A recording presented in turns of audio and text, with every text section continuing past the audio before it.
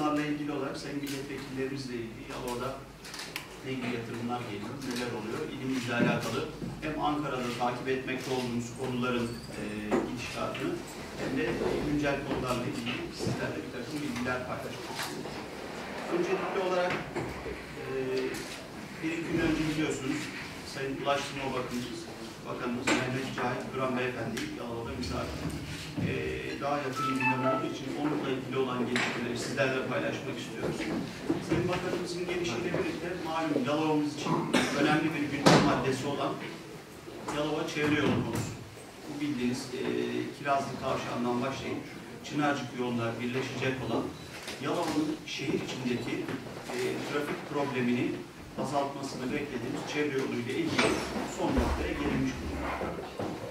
Geçtiğimiz aylarda hem Yalova Belediyesi meclisinden hem de Kadıköy Belediyesi meclisinden e, yerin 18 uygulamalısı dediğimiz imar uygulamaları tamamlanmış bulunmakta. E, Sayın Bakanımızla da konuyu görüştük.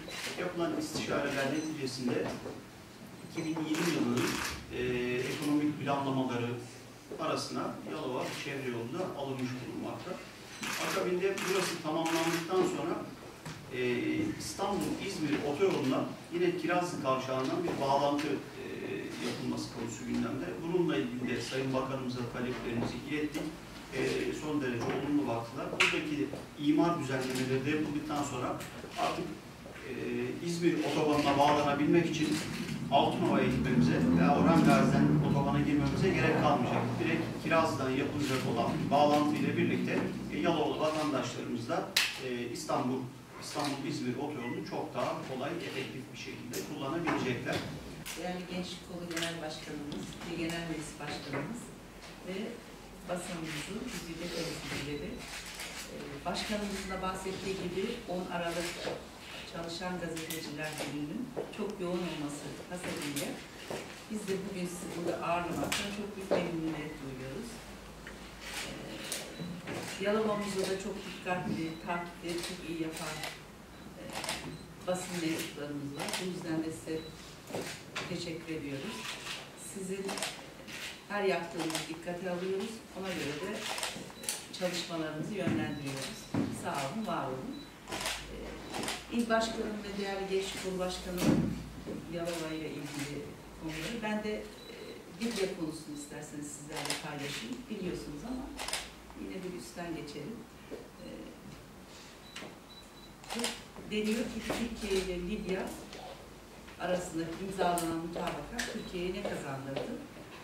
Arkadaşlar Türkiye uluslararası hukuktan doğan haklarını kullandı. Mısır, Güney Kıbrıs, Yunanistan, İsrail bunlar Doğu Akdeniz'i hep kendilerine egemenliği altında e, zannederek çalışıyorlardı. Bu bölgede Türkiye'ye yönelik ciddi tehditler sağlıyor.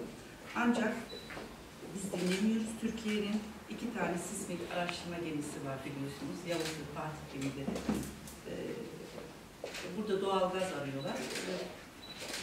Bu vesileyle de varlıklarını gösteriyorlar orada.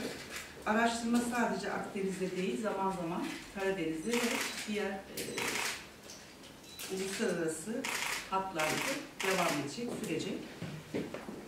Türkiye'nin tek konusu mutabakat muhtırasını Libya'nın meşru yönetimi olan Libya Ulusal Mutabakat Hükümeti ile imzaladı. Hafter orada Libya'nın bir ulusal temsilcisi değildir. Oradaki temsilcisi sizlerin de bildiğiniz gibi Saraj'dır. Ve Saraj'da İstanbul'da konular müzakere edildi geçen hafta içerisinde Sayın Cumhurbaşkanımızla birlikte. Mutabakat muhtırası ile birlikte Türkiye uluslararası hukuktan doğan haklarını kullandı.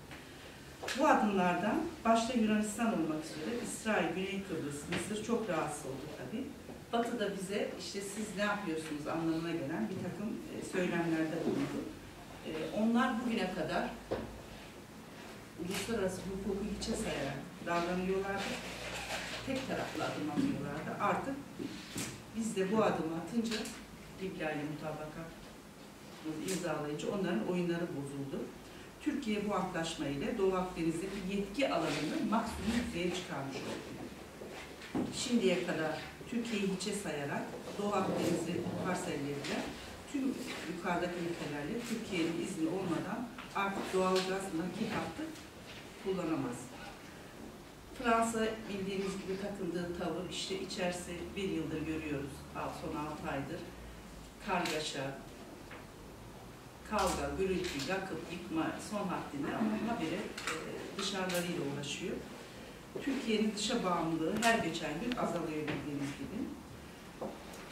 Bununla ilgili de en son 8 Ocak'ta Türk akımı doğalgaz imzalandı. Böylece 31,5 milyon metrekare doğalgazın e, Türkiye'ye bunun 10 31,5 milyon metreküp doğalgazın 15.75 milyar metreküpü doğrudan ülkemize girdi. Böylece 15 milyon hanenin bir yıllık doğalgazı karşılanmış oldu. Yani 14, 15 milyon çarpı 4 olunca nüfusa gördüğümüzde böyle bir kazanımımız oldu. Ee, yine e, ulusal basında yer alan e, ulusal politikalarımızda 6 Ocak'ta Milli İstihbarat Teşkilatımızın yeni görkemli binası açıldı. E, Biblia tezkeresi geçen hafta bildiğiniz gibi işte 352 oyla kabul edildi. Kanal İstanbul'a falan geçmiyorum. Onları biraz daha izleyelim, olgunlaşsın. Bilgileniyoruz, donanıyoruz. Sorularınız olursa e, sorularınızı cevaplamaya hazırız. Çok teşekkür ederim geldiğiniz için. Ayaklarınızı Yalova Belediyesi'nin binasındaki e, depreme dayanıksızlık durumu. E, bu konuda e, gerek üniversite kanadından gerek e, belediye kanadından açıklamalar bir bir ardına geliyor. Son olarak e, YTSO Başkanı ve akademik odalar da belediyeyi ziyaret ederek e, e, valilik binasını ve belediye binasını il dışında bir noktaya taşıyalım e, önerisinde bulundular. Hatta buna yönelik e, ikinci bir toplantı da e, YTSO'da gerçekleşecek e, sanırım e, gerçekleşecek. Şimdi bu konuyla ilgili AK Parti'nin bakış açısı nedir? Çünkü mecliste ağırlıklı bir gruba sahibiz. E, şey bakış açısı nedir? Ne düşünüyorsunuz? Bu konuda görüşlerinizi biz merak ediyoruz. Ben önce bir cümle söyleyeyim sonra başkanım. Ben ayıplıyorum. İkinci döneminde bu binanın, ben de bundan önce bildiğiniz gibi meclis üyesiydim, encümendeydim. Binanın statik açıdan çok tehlikeli oldu. Hepsi biliniyordu. Yani becerip bir belediye binası yapamadılar. Ben ayıplıyorum. Bizim hiçbir AK Parti belediyesi gibi CHP'nin kapısını çalmıyor gelinler. Beceriksizlik yani. Buyurun başkanım. İki camianın Şöyle e, değerli arkadaşlar biz Ticaret Odası Başkanlığı ile birlikte bir yerel yönetimden şura önermiştik. Bu şuranın neticesinde de Yalova'nın kalkınabilmesi için iki tane ana istikamet tespit ettik. Bunlardan bir tanesi Yalova'nın turizm potansiyelini geliştirmek ve termal kaynaklarımızın iyi kullanılması. İkincisi de Yalova Üniversitesi'nin geliştirilmesi olmuştu. Bu bağlamda e, Sayın Rektörümüzle, belediye başkanlarımızla, Ticaret Odası Başkanımızla yaptığımız toplantılar neticesinde hep birlikte Yalova Üniversitesi'ni nasıl e, kalkındırabiliriz diye bunun gayreti içerisindeyiz. Rektör hocamızla da yaptığımız görüşmelerde inşallah 2020 yılına kadar kademeli olarak Yalova Üniversitesi'nin öğrenci sayısını ve eğitim kalitesini arttırma anlamında işbirliği yapıyoruz. İlimizdeki tüm STK'ların e, buna destek verdiğine inanıyoruz. Şimdi böyleyken e, üniversiteyi kalkındırmaya çalışırken mevcut üniversitenin meslek yüksekokulu binasının boşaltılarak e, belediyenin oraya taşınması bize göre son derece yanlış bir e. Tabii bunu belediye başkanı e, bizi de davet etti. Sayın vekillerimizle birlikte Vali Bey, Rektör Hoca toplandık. Cumhuriyet Halk Partisi'nin milletvekili de vardı. Bizim öncelikli e, tavsiyemiz ve düşüncemiz şu şekilde oldu. Dedik ki siz elinizdeki bütün alternatifleri bir değerlendirin. Sonuçta Yalova Belediyesi, Yalova'da imara, iskana yön veren kuruluş. Ee, sizin bir çözüm bulmanız lazım. Eğer belediye başkanı bugün bizlerden birisi olsaydı biz çok kolaylıkla bunun e, gereğini yapardık. Fakat gördüğümüz şu oldu, birkaç defa toplandık. Yalova Belediyesi ısrarla çözüm üretmek yerine çözümsüzlük üretiyor. Sadece biz oraya taşınırsak bu iş olur. Onun haricinde başka bir yere sığamıyoruz. Efendim elimizde başka alternatif yok gibi bir tavır aldık. En nihayetinde biz de şunu yaptık. E, belediye başkanı öncelikli olarak e, konuyu belediye meclis gündemine getirerek üniversite ile Yalova Belediyesi arasındaki protokolü iptal etmek istediler. Biz de e, ben Başkan Bey'le telefonla görüştüm. Bu, şekilde bir teklif gelirse biz bunu belediye meclisinde reddederiz. üniversite hiçbir şekilde böyle e, meclis çoğunluğu falan kullanarak protokolün iptal edilmesini doğru bulmuyoruz. Rektör hocayla konuyu istişare edin. E, öncelikle elimizdeki diğer avantajları bir değerlendirin. Hiçbir çözüm yolu bulamıyorsanız tamam biz kabul ediyoruz. O zaman e, rektörle bir orta nokta bulun.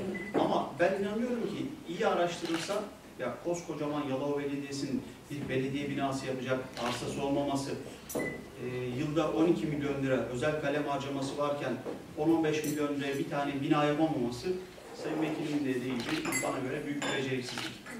E, inşallah üniversite öğrencilerine zarar vermeden bu süreç sancısız bir şekilde e, çözülecektir diye tahmin ediyoruz.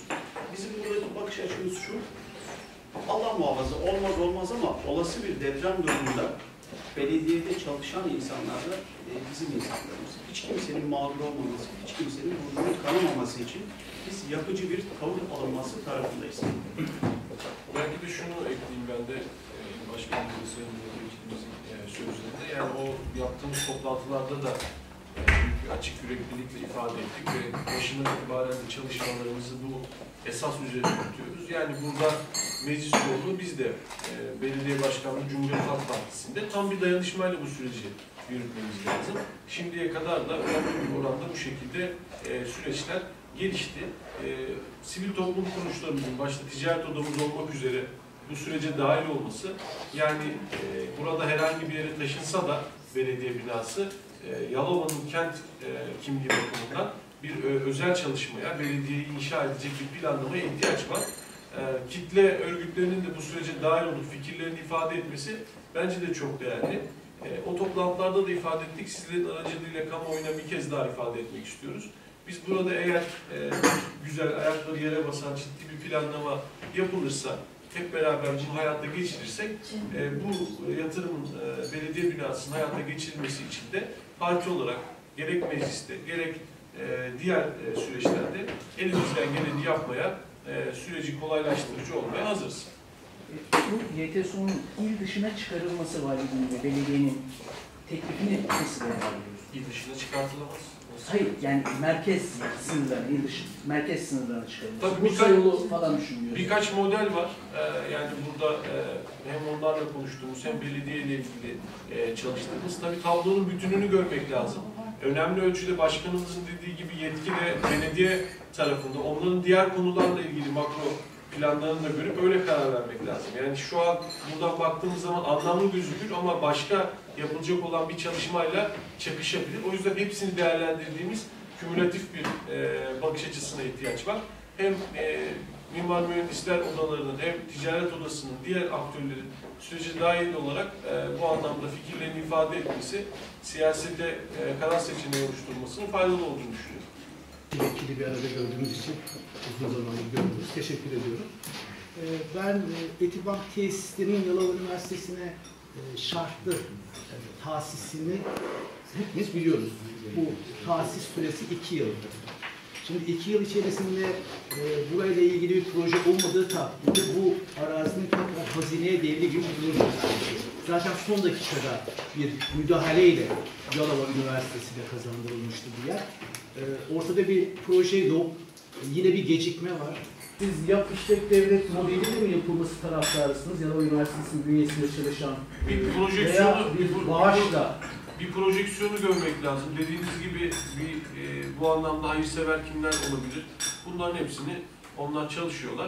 E, tablonun tamamını gördüğümüz zaman hani bir modeli e, baştan e, savunmak yerine e, bunun şartı, Neticeye göre. şeyi, tabii tabii ona göre hareket Teşekkür ederim. lazım.